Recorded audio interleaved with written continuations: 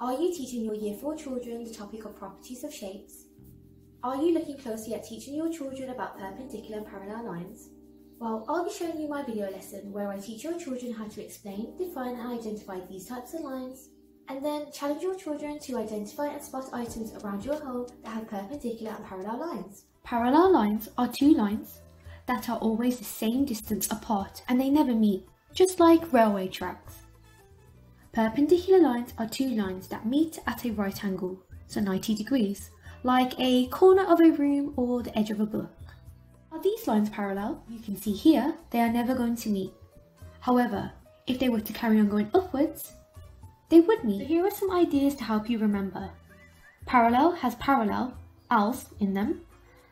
Perpendicular ends in an R for right angle. Search around your home and see if you can spot any items which have perpendicular and parallel lines. This door has four pairs of perpendicular lines, as there are four right angles, and two pairs of parallel lines. These lesson videos are great to help and support with your planning, to be sent home as a home learning task for children to work through independently, or even to be used as an assessment tool before or after a topic. To watch our lesson videos, simply search for Twinkl Teachers before selecting your subject and key stage. Alternatively, you can scroll down on the Twinkl website and select online lesson videos. Now you can browse our growing collection. I hope this video was helpful. Thank you for watching.